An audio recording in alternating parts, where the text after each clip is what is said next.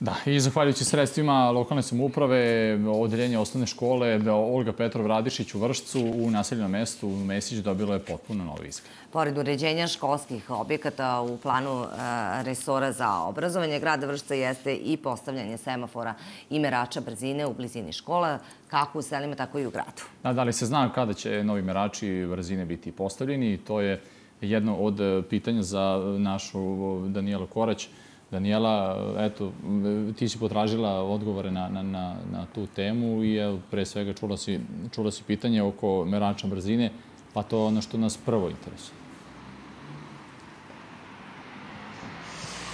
E, mi se upravo i nalazimo u blizini jedne samo od osnovne škole gde je postavljeno gde su postavljene tačnije merači e, brzina. E, u pitanju je Dvorska ulica, jedna od prometnijih e, u našem gradu. Kako saznajemo od nadležnih, ovo je samo jedna škola, kao što sam rekla, gde je postavljen merač brzine, a u planu su svakako i e, dalje postavljanja merača brzine e, radi bezbednijeg, naravno, dece, učešće dece u saobraćaju, e, gde su tačno planirani novi merači brzine, reći će nam član Gradskog veća za obrazovanje Miroslav Lepir. Miroslav, dobro jutro, dobrodošli u jutarnji program. Evo na samom početku, kao što smo rekli, ovde se nalazi, tačnije dva merača su u pitanju, kod osnovne škole Vuk Karadžić koji su postavljeni pre par godina, u planu su i postavljanje novih merača, tako? Tako je, grad Vršac realizuje tri projekta iz oblasti bezbednosti saobraćaja. E, prvi se odnosi na postavljanje pešačkog semafora u zoni škole Branko Radičević u Uljmi.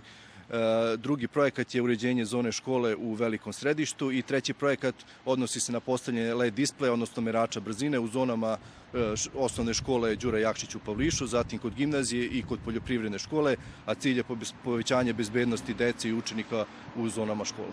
Osim bezbednosti, povećanja bezbednosti tačnije dece u blizini škola e, i naravno jedna od važnijih zadataka vašeg resora jeste i poboljšanje uslova, e, je tako školovanje ne samo u gradu, već i u selima. Tako je. Tako je. Rekao bih još u vezi ovoga da, da ta pri, tri projekta E, grad će uložiti preko 6 miliona dinara. E, takođe radit ćemo i, ovaj, i radimo na obnavljanju škola u svim naseljenim mestima. Obnovljena je e, škola u Mesiću, urađena je sanacija krovnog pokrivača, zamenjena je kompletna stolarija i urađena fasada škole. Takođe i unutrašnjost škole je uređena, sređeni su podovi, zamenjene elektroinstalacije i osvetljenje. E, grad je u ovaj projekat uložio preko milion dinara i u saradnji sa mesnom zajednicom i meštanima Mesića škola je rekonstruisana. Raduje nas i činjenica da, da broj učenika u tom mestu e, se iz godine u godinu povećava i sada će oni imati bolje uslove za rad i obrazovanje. E, grad će nastaviti da obnavlja škole, domove kultura, u, u, u svim, i trudit ćemo se da u svim naseljenim mestima stvorimo kvalitetne uslove E, za život, jer ulaganje u obrazovanje je u stvari ulaganje u budućnost. E, ono što svakako treba pomenuti tiče se aktualne situacije kada su pitanju kada je u pitanju tačni broj zaraženih e, prosvetnih radnika ali i đaka. Kakva je trenutna situacija u školama? Trenutna situacija u vršačkim školama je, je stabilna i, i u gradu je veliki broj vakcinisanih. Mi smo jedna od opština, ovaj, među vodećim opštinama u, u Republici prema broju vakcinisanih. Eh, ali to ne treba da nas, da nas opušta, moramo se i dalje pridržavati svih propisanih mera. Škole čekaju eh, uputstva, zvanično uputstva ministarstva o daljem radu. Imamo nagoveštaje da će od ponedljaka i niži razredi osnovnih škola preći, preći na online nastavu. Hvala vam puno na ovim informacijama.